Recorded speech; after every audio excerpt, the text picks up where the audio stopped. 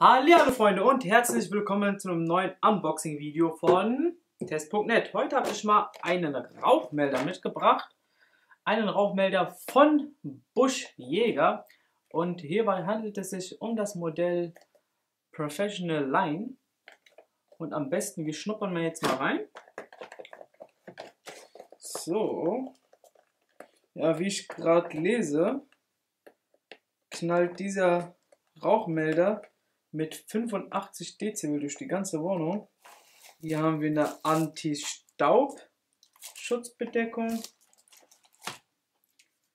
Bedienungsanleitung und Montageanleitung. Sollte man auf jeden Fall durchlesen. Und hier haben wir noch Schrauben mit ja, oh ja, die dazugehörigen Dübel sind da noch dabei. Gucken wir, fragen mal die Tüte ab. Okay, jetzt. Upsala. Ja, was cool ist, mit 10 Jahres Lithium-Batterie. Nun braucht ihr euch innerhalb dieser 10 Jahre keine neue Batterie kaufen. Und wie ihr seht, ist dieser Rauchmelder auch sofort betriebsbereit. Ja, wartet mal.